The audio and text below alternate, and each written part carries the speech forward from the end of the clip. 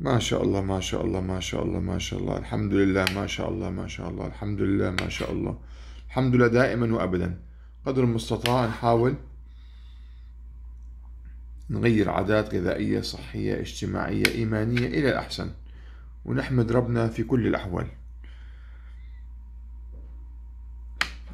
أكيد أحسن شيء اللي هو الغذاء الصحي الرياضة الصحية الصحبة الصحية التفكير الصحي الإيمان الصحي. كله مرتبط مع كله. يعني على أساس إحنا يكون عندنا نفسية صحية وإيمان صحي كمان لازم نكون عندنا حب صحي. لازم يكون عندنا تغذية صحية لازم يكون عندنا رياضة صحية. كله مرتبط مع كله.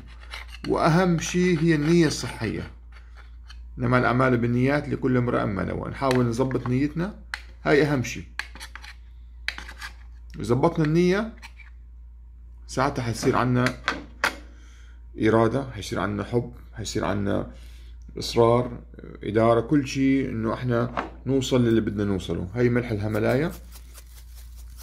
صعب نرضي كل الناس. تاريخ اليوم تاريخ مميز جدا لمحاربة نفس أمارة بالسوء الله المستعان الله المستعان دائما نحمد ربنا على كل شيء. مش كل شيء ربنا بيعطينا إياه. في هالدنيا ما رب يعطينا في الآخرة. ومهما تمنينا ومهما طلبنا رب ربنا مرات بيعطينا اللي اللي هو شايف خير إلنا.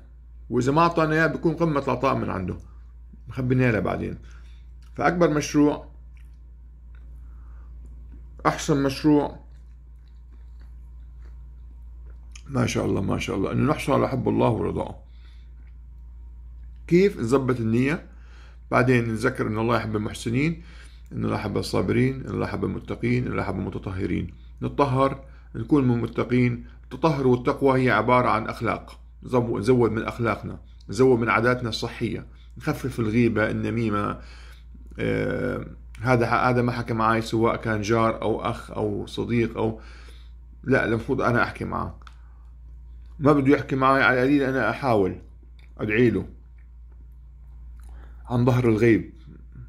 حتى أدعي أدعي للأعداء إنه الله يهديهم. أخفف الغيبة أخفف النميمة. اللهم المستعان اللهم المستغاث اللهم المستعان اللهم المستغاث الحمد لله. سلم إيديك وقلكم ما شفناكم في العين بنشوفكم في القلب.